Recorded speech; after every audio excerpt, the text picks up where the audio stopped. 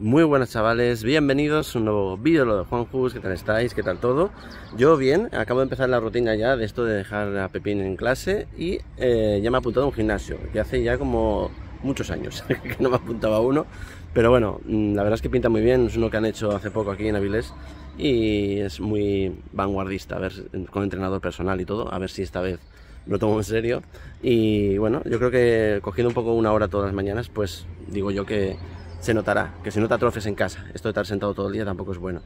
Y hablando de audiencias, tenemos que hablar de lo que ha sucedido, que la 1 ha liderado por tercera vez consecutiva ya, yo creo que es el tercer día consecutivo de esta semana, ha liderado con la película The Equalizer, eh, con la vuelta en la tarde y con buenos datos del Daytime. Antena 3 está pinchando un poco con Secretos de Familia y luego Telecinco con Ella Tú, no digamos, que ha, mejorado sus datos un 9%, pero no acaba de despegar, ¿no?